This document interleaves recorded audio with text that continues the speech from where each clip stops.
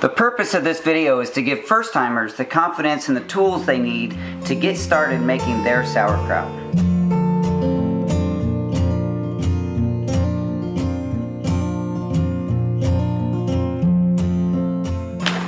Hi, welcome to the Daddy Kirbs Farm, a place where we believe everyone has a story and every story counts.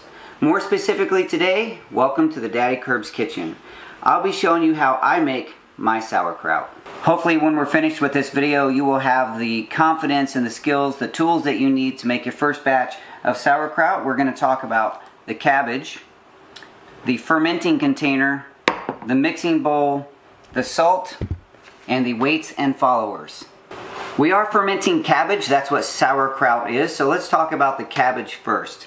Preferably, we would all be fermenting our cabbage that comes out of our garden so it's the most fresh, but I don't grow cabbage well here on the Daddy Kirbs farm. Some people don't have a garden at all, so I did purchase this, and you can purchase cabbage usually very inexpensively at your local grocery. And I'm going to give you a few tips about things to look for when choosing your cabbage. I like to make my sauerkraut with both red and green cabbage in the same batch. It makes it a beautiful color and I think the flavor is really nice. Let's talk about what to look for when you're purchasing your cabbage at the grocery. First of all, the cabbage should be nice and dense and tight and fairly heavy for its size. If the leaves are really loose, then that means it's an older head of cabbage and it's probably a little drier and tougher than it would be if it's tighter and heavier with more moisture. Another thing you can look for is the sheen on the, on the leaf. If it is especially dull, then it's probably dried out and not suitable for fermenting. The next thing we're going to talk about is the fermenting container. Now we're going to keep this really simple. I use one gallon pickle jars. Now there are a lot of people that choose different ways to ferment, different containers, different crocks. There's a lot of really cool crocks that you can purchase for fermenting, but if you're just getting started and you don't know what to purchase but you want to get started right away, you don't have to get anything fancy. A glass container or a ceramic container, you have to be careful with anything glazed. Then there's a possibility of lead being in that glaze and you have to have that tested before you use it for fermenting. For me, I just like to keep it simple with a glass container. You can use a lid or not. I don't tighten the lid down anyway. I just use it to help keep bugs and whatever, you know, things out of it. I never tighten it down. That way all of the CO2 that's in there can escape. But we'll talk more about that in a little bit. Your fermenting container can be a quart-sized canning jar, a pickle jar, anything such as that. Glass typically, most people agree, is the best. Now let's talk about the mixing container. You're to need a large bowl to mix your cabbage in.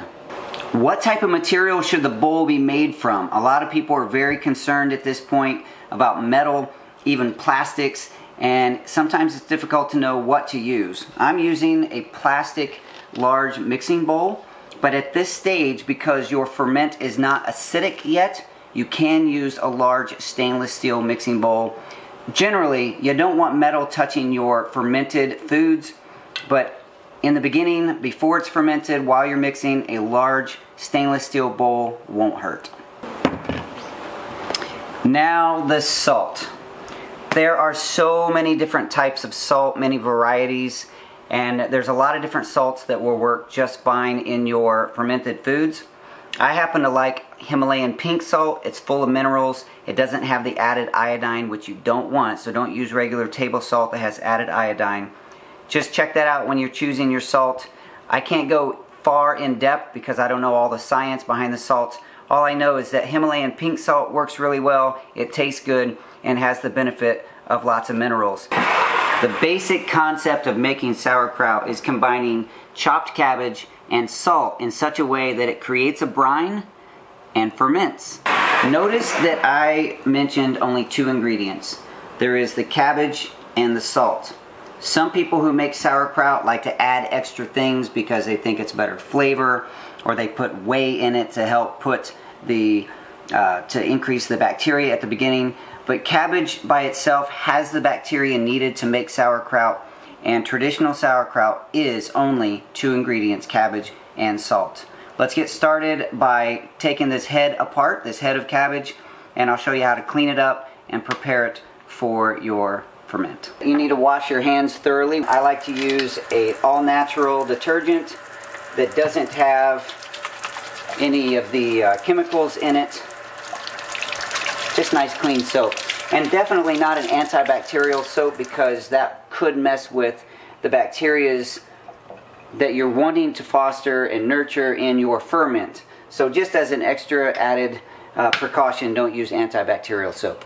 We're going to wash these heads of cabbage, just rinsing them off at first. Get the outside rinsed off. And we're going to pull these large exterior leaves that are kind of loose and set those aside because we're going to use those later in the process. Normally there's only two or three that are loose. That one's still kind of tight. I'll leave that one on. You rinse this off. Alright, so we have the large outer leaves that we're going to use in part of the process and then the heads themselves. So when I get started with a head of cabbage, I typically will just cut it in half. And then just cut the heart out, or the core. Your rabbits will enjoy that.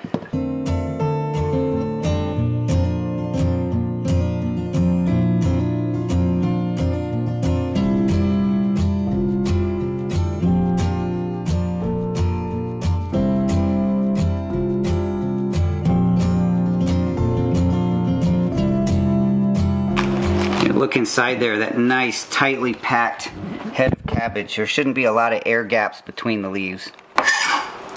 Before I get too far with the cabbage, I want to talk about the salt and how much salt we're going to use. I had to do a little bit of math for this, and I don't know if I would explain it correctly in the video. I'll do my best. My cabbage was 8.3 pounds. I know that because I weighed it on a scale uh, you can also know that by when you weigh it at the grocery store, a lot of times the amount of weight, they're usually purchased by weight, and that is printed on the receipt. So you can know how much your cabbage weighs simply by looking at the receipt in most cases. So the recipe or the suggested amount of salt for cabbage is somewhere between 2 to 3% of the weight of cabbage. So I took 8.3 pounds times 16 because that gives me ounces. And then multiply the ounces by 2 and 3% to get how many ounces I would need for this. At 2% it would be 2.656 ounces of salt. And then also at 3% 3.984 so roughly two and a half to four ounces by weight of salt. I don't have a kitchen scale right now that works so I had to convert the weight of salt into actual measurements. So I went online and found a calculator for the weight of Himalayan salt and found out that uh, the two and a half to four percent would be roughly a little more than one third of a cup. So about that much. Keep in mind that this doesn't have to be precise. It can be more or less salt there's a trick to knowing if it's going to be good for you, and that is that you taste your cabbage with salt as you're going through the process. And if it's too salty in the beginning, it's going to be too salty as sauerkraut. If it's not salty enough, then you're going to have to add more salt in the beginning to make the sauerkraut flavor that you like. We're at the stage where we are going to be preparing our cabbage. Those large outer leaves that are now washed, stack them up and set them aside. We don't want to cut those up. So we're going to take our cabbage and slice it. You can use a slicer if you like, but I just use a knife on a cutting board and I try to keep it fairly thin.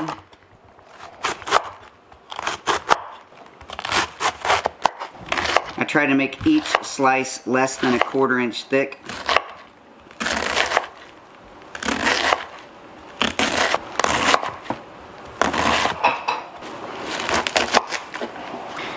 Notice that I did not do a lot of chopping.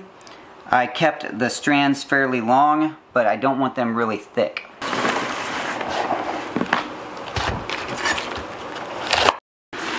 Wow, that is a lot of beautiful cabbage. When you get done chopping your cabbage, you might think, I have too much cabbage. But keep in mind that as you uh, prepare the cabbage, it will condense, get smaller in size, and you're gonna pack it tightly into a jar. So you're gonna need a lot more than you think. This might be a little much for my jar, but let's see if we can get it all in here. After chopping, is that we're gonna start mixing it and massaging it uh, to get the salt incorporated. The salt's gonna work with that cabbage, breaking down fibers, pulling out the moisture, and creating a brine. The brine is the liquid from the vegetable that the salt brings out. All of this right here, that's brine from this batch. That's no added extra water. So when we start preparing this, we're gonna break this cabbage up. We're gonna put a layer in our mixing bowl. This is the entire amount of salt for the whole batch. So I like to keep that in mind as I go along and just add a little bit uh, in layers and massaging that in. Then adding more cabbage, adding a little salt.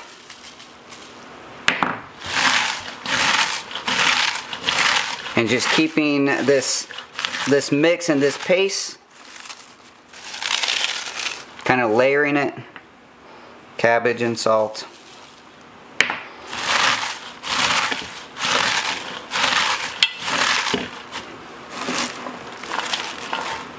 when you're doing this and you're thinking about a massage, you need to think about deep tissue massage. None of this light back rub stuff. It's deep tissue.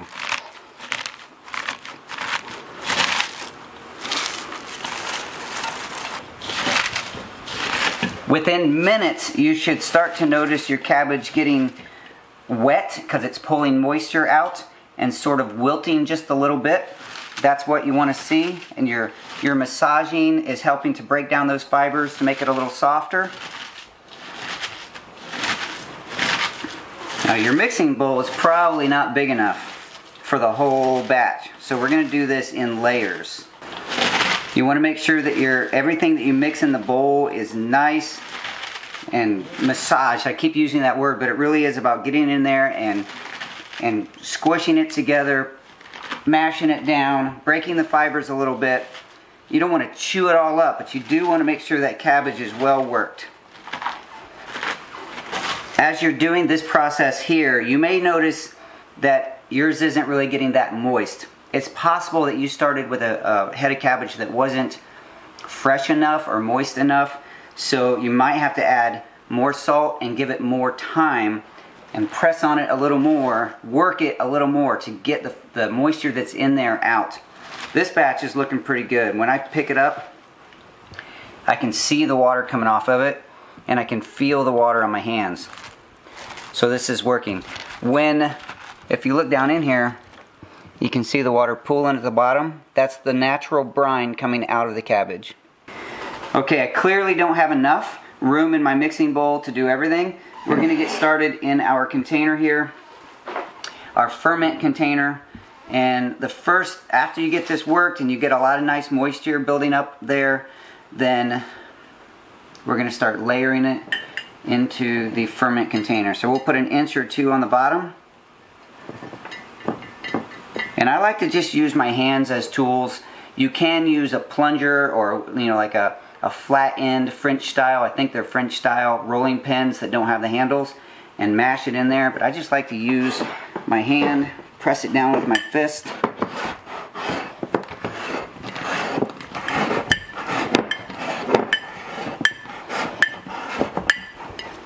Pack it in real tight and then just add another layer of cabbage. Another couple handfuls on there.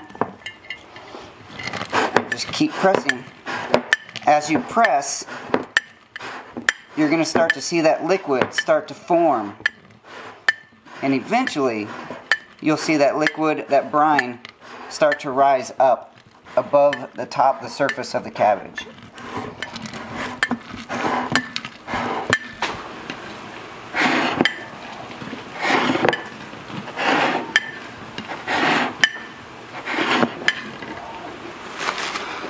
I think we're to get it all in there, that whole first bowl uh, made uh, less than half a jar. Now we don't want to fill this all the way up.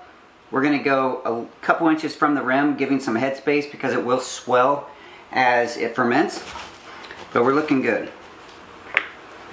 I may not have stressed it enough earlier that as you're doing this, one of the ways that you're gonna know if the finished product is gonna turn out to your, your taste, your flavor preference, is to actually take a little bit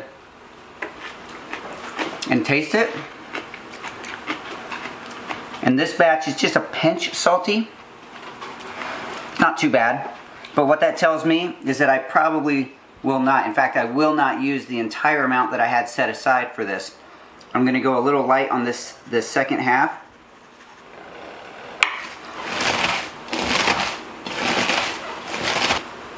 If that moisture isn't working for you, one thing you can do is you add your salt and you massage, you can cover it with a towel or a lid and walk away from it for about 45 minutes to an hour and then come back and work it again. By that time the salt that's in there has had time to really draw that moisture out and it's going to help.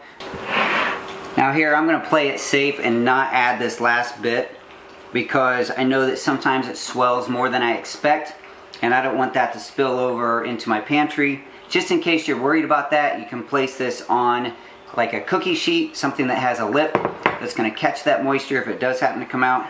But for me this time, I'm going to just play it safe and not add the rest of this. But I did work pretty hard for this brine. So I'm going to pour that in there. Alright, we are getting to that point where we're going to finish this off. So I'm just pressing, and notice every time that liquid, that brine just keeps getting thicker and thicker at the top. The more I pack it down, the more liquid comes to the surface, and that's exactly what we want.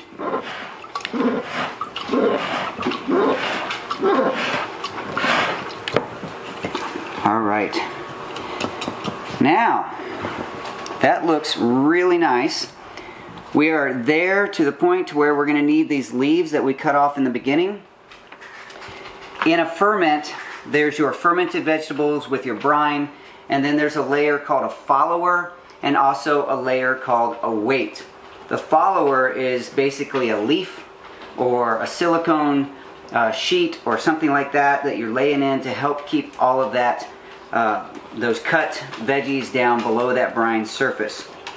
So what we're going to do is we're going to take this leaf here and we're going to use it to push down on top.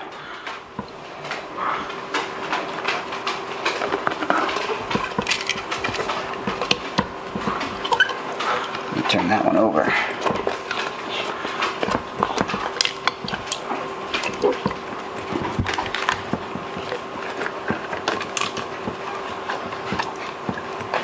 All right, those leaves are going to help keep all that cut cabbage down below the surface using my fingertips on the edges to help press it down.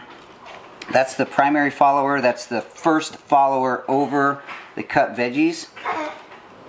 Now there has to be a weight, and some people use even a secondary follower, which is another layer.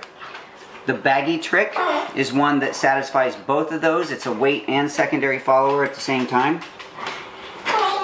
So the baggy thing, a lot of people are going to say, no, no, no, you can't put plastic in there. In most cases, you're correct. But the freezer bags, from everything that I could read and research, they don't have the BPA or other chemicals in it that are going to leach into your food. So uh, the freezer bags, like I said, by everything I read, are safe. So we're going to open a bag. We're going to spread the bottom of the bag out into the top of that. Just kind of push it around the edges. Now that that bag is pressed in there around all the edges, we're gonna fill it up with a water that we're gonna use filtered water from the refrigerator and I'm gonna add a little bit of salt. The reason I'm adding salt is just in case this bag leaks. I don't want it putting fresh water into my ferment. Uh, that could mess with the texture and flavor. So we're putting salt water into our bag here. And I'm going to help make sure it spreads out. I still want to leave the layer, see I'm still an inch to an inch and a half uh, below the surface there. Uh, there's, there's a possibility of it swelling, so I need to make sure that there's room for it to swell. So now I'm going to try to press as much air as I can out of this and then zip it up. We're going to zip it up most of the way and then press the air out. And zip it up tight. I'm going to try to keep that zip, that uh, Ziploc top facing up just in case there would be some leakage around that lock or that seal. So basically what we've created there is a weight to hold down everything that's in there with still some headspace and hopefully that bag doesn't leak. I have not yet had a bag leak on me but I know that it's possible. Uh, not all bags are created perfectly but I do trust the system. I've used it several times and it works out really well. So now that that is all packed up I could leave it just like that. As an extra layer of protection from things getting into it, I'm putting the lid that comes with the jar on there. I'm not tightening it down. I'm going to just tighten it a little bit so it holds on. But the CO2, the carbon dioxide that is produced in here from the, the uh, bacteria as it eats up the sugars in the cabbage and it ferments the cabbage, it's going to be releasing CO2. I need that to be able to get out. I don't want air to get past this bag and into the cabbage. That's why there's the brine layer, the follower, and the bag. And then the added protection of just having a cover on it. You can put a towel with a rubber band or cheesecloth or something like that, but I find that this works pretty well too. Just a loose lid. Alright, this is the difference between a cabbage ferment sauerkraut that done just like this one after about three weeks. So when it first starts out, because I like to use the white or green cabbage along with the red, it's going to look all different layers and different colors, but it'll become this beautiful uh, pinkish color as it ages. That leads me to the next question, which many people will have, is how long do you let it ferment? When does it become sauerkraut? Well, that's going to depend on your preference, your flavor, your palate. Um, after about seven days, technically it's fermented and it is sauerkraut. Some people really like that young sauerkraut flavor. Other people believe it's not really sauerkraut until it's been fermenting for at least 30 days. Many diehards will go six months or longer before they really feel like they have a good sauerkraut. Well, that is truly up to your preference, your flavor. I happen to like it right around the 30 day mark. So I'm going to wait another week on this one and I'll be happy to put this in the pantry beside it, letting it ferment. That way by the time I'm done with this one, this one should be ready. When you put this away for storage, you're going to want to put it somewhere that doesn't get a lot of light. Uh, the temperature is going to be fairly stable. Room temperature is going to be fine, but you're not going to want it to get extremely cold or extremely hot. So put it away in the dark, put a towel over if you have to, and don't disturb it until it gets to that level that, your, uh, that you prefer as far as timing. When you start doing your fermented uh, veggies, you can dive so far into buying special crocks and special weights and special lids and all kinds of things that cost a lot of money. But I wanted to give you this example to show you that you can do this at home with a very inexpensive start. Pickle jars, a lot of times, I find these at yard sales or people give them to me or if you can find a place that sells pickles by the gallon in a glass jar, buy pickles, share the pickles with your friends, and keep the jar. If you feel like you just have to purchase the jar, you can get them in this size on Amazon as well. Please do check out my playlist called In the Kitchen. There's things from kombucha to uh, pumpkins, pumpkin seeds, lemon peel, making powder from lemon peels, and now the sauerkraut. It's just a fun list. It's a fun thing that we do here on the farm, preserving our food. Check out that playlist. Leave your comments below about how you do your sauerkraut. If you feel like I've made an error, please let me know. If you are here for the first time and you are happy about uh, the tutorial and you've done this and it turned out well, please let me know that as well. It has been my pleasure here in the Daddy Kirbs kitchen showing you how I make my sauerkraut subscribe, hit that notification bell, the like button, all those good things that YouTube likes, and I'll talk to you soon.